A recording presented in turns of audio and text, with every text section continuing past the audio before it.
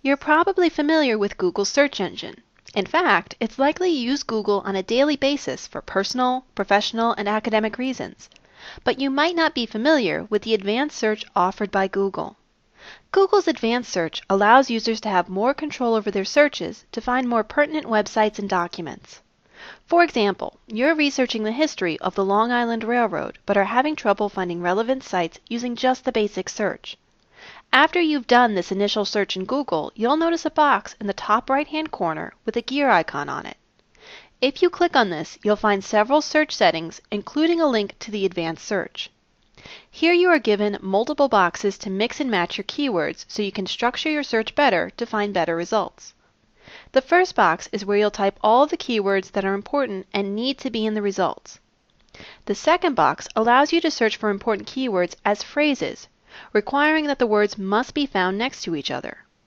The third box is where you might include a variety of synonyms or related terms that will help narrow your search but are far less important than the keywords typed above.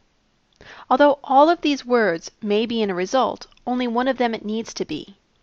In the fourth box, you can type keywords to help exclude certain types of information. Perhaps you keep finding information on current Long Island Railroad schedules. To avoid this, you could type schedules in the box. Next, Google Advanced provides a way to look for a range of numbers, which could be measurements, dollar amounts, dates, etc. As a reminder, Google provides basic definitions and examples to the right of each box. Below the boxes are ways to narrow your Google search further. You can choose the language of a site, select sites published in certain areas, only choose sites updated within a certain time frame, and much more. One tool that works particularly well is the Site or Domain Limiter. This will limit your results to only certain types of sites, like government.gov, educational.edu, organization.org, commercial.com, or any other of your choosing.